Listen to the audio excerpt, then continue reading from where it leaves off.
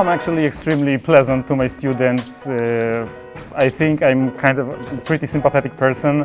I don't threaten my students. Of course, I jokingly say that we can always solve our problems on the, on the mat, but it never has come to this. Hi, my name is Mikołaj Birek. I teach graphic design, digital painting and multimedia here at the UITM. At UITM I teach mostly uh, multimedia focused subjects like digital painting for example or uh, animation. I considered myself to be a painter, a classical painter for a while. Uh, I kind of ditched that uh, classic medium uh, for the digital one because it's faster, I can achieve more in a shorter amount of time. What I try to teach my students at UITM is the tools to uh, achieve their goals.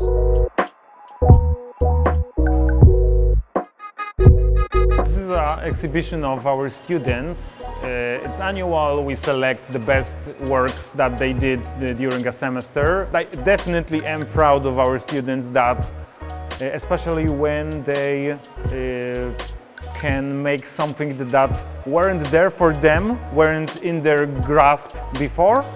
And using our uh, classes, the methods that we show, they gradually become better and better. Being a teacher at the university uh, gives me great opportunities to work with students, to teach, to share my knowledge. Uh, it's also a great way for me to uh, learn as well. It's very inspiring to meet people from various backgrounds, different countries, uh, different cultures. Some of those cultures are vastly different than what we are used to here. Uh, but then again, we all kind of live in the internet, so we watch the same shows, we follow the same artists, we watch the same YouTube channels.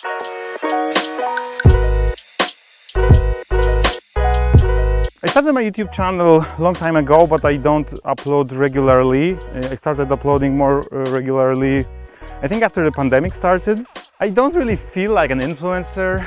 Uh, I'm much more of an artist that is also teaching. So uh, if I influence someone in any way, uh, in a positive way, that's great, but that's like a byproduct of what I'm doing.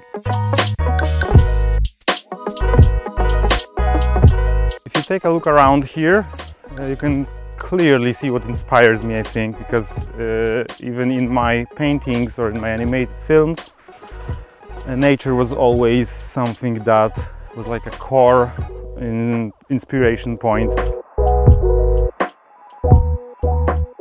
Martial arts uh, was something that I was always fascinated by.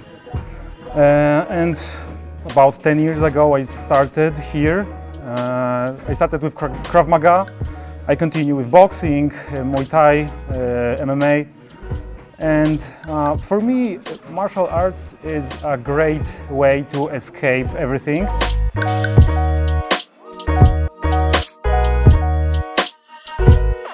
Fortunately, I didn't hurt my hands because I work with them, so that would be a problem. I did hurt my legs, my knees, I got a broken nose, uh, I got a black eye. That's where the boxing gloves come in and they save my hands.